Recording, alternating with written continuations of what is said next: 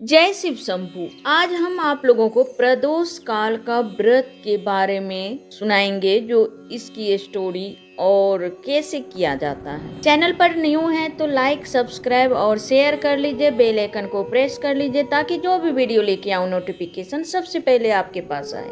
प्राचीन काल में एक गरीब पुजारी हुआ करता था। उस पुजारी की मृत्यु हो गई। मृत्यु के बाद उसकी विधवा पत्नी अपने भरण पोषण के लिए पुत्र को साथ लेकर भीख मांगती हुई शाम को घर वापस आती थी। एक दिन उसकी मुलाकात विदर्भ देश के राजकुमार से हुई, जो अपने पिता की मृत्यु के बाद दर दर भटकने लगा था।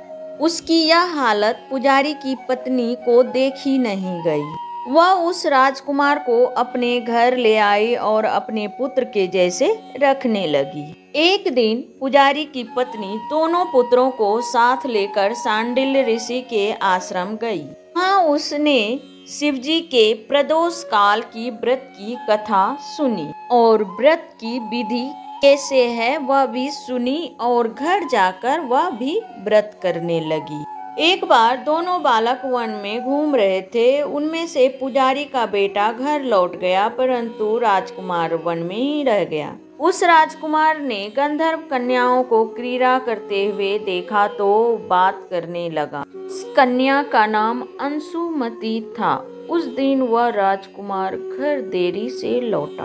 राजकुमार दूसरे दिन फिर से उसी जगह पहुँचा। जहाँ अंशुमति अपने माता पिता से बात कर रही थी। तभी अंशुमति के माता पिता उस राजकुमार को पहचान लिया। उसने राजकुमार से कहा, आप तो विदर्भ नगर के राजकुमार हो ना? आपका नाम तो धर्मगुप्त है। अंशुमति के पिता को राजकुमार पसंद आया और उन्होंने कहा कि शिवजी की कृपा से हम अपनी पुत्री का विवाह आपसे करना चाहते हैं। क्या आप इस विवाह के लिए तैयार हैं? राजकुमार इसकी स्वीकृति दे दी उन दोनों को। फिर उन दोनों का विवाह संपन्न हुआ। बाद में राजकुमार ने गंधर्व की विशाल सेना के साथ विदर्भ पर हमला किया और घमासान युद्ध करने के बाद विजय प्राप्त की उसने। तब पत्नी के साथ वह राज्य करने लगा। वहाँ उस महल में पुजारी की पत्नी पहुँची और उसके पुत्र भी सभी को आदर से वह लाया। को अपने साथ रखने लगा और उनकी गरीबी, दरिद्रता दोनों की दूर हो गई। एक दिन अंशुमति राजकुमार से इन सभी बातों के पीछे का कारण पूछा और रहस्य। तब राजकुमार ने अंशुमति को अपने जीवन की पूरी बात बताई और रहस्य। तब राजकुमार उसको सारी बातें पुरानी बताई और व्रत का महत्व और व्रत से प्राप्त फल के बारे में भी अवगत कराया। उसी दिन से प्रदोष व्रत की प्रतिष्ठा का महत्व बढ़ गया। फिर लोग इसी तरह प्रदोष काल की व्रत करने लगे। कई जगह स्त्री और पुरुष दोनों प्रदोष काल की व्रत करते हैं। इस व्रत को करने से सभी कष्ट और पाप नष्ट हो जाते हैं और मनुष्य को अभिष्ट की प्राप्ति होती है। गुरुवार प्रदोष व्रत रखने से पूर्वजों का आशीर्वाद मिलता है और गुरु दोष दूर हो जाता है।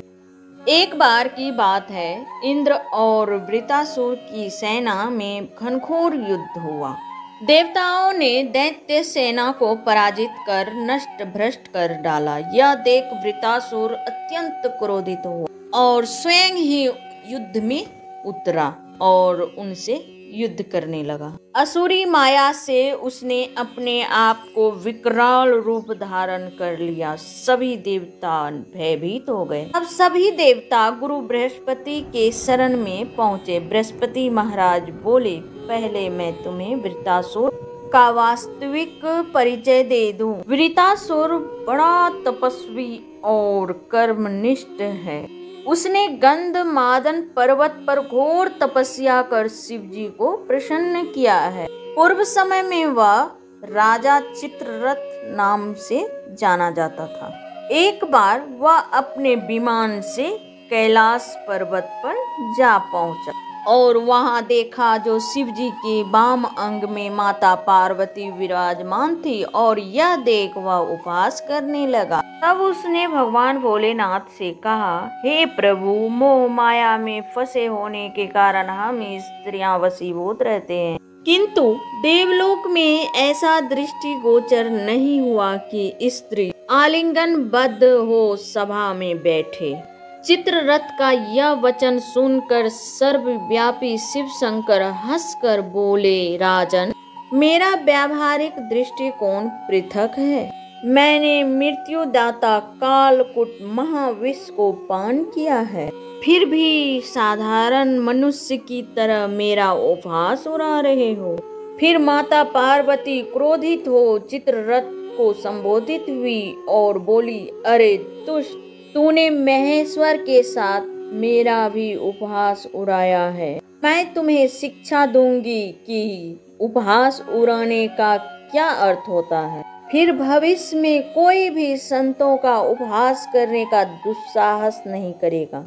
जाओ, मैं तुम्हें श्राप देती हूँ कि तुम विमान से उतरो और दैत्य कुल में जन्म लो। फिर वह दैत्य कुल में जन्म ले लिया और उनकी भेंट त्वष्टा नामक ऋषि के सर्वश्रेष्ठ तप के कारण वह वृतासुर बना।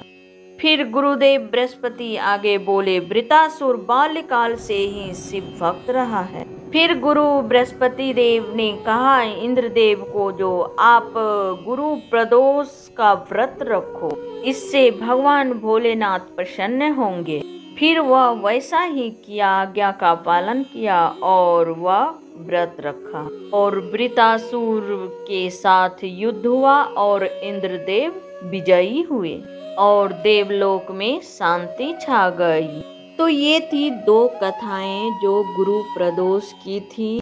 तो सभी बोलिए, उमापति भगवान शंकर की जय। हर हर महादेव। यह व्रत महीने में दो बार आता है कृष्ण पक्ष और शुक्ल पक्ष। तो शुक्ल पक्ष का बहुत ही अच्छा होता है।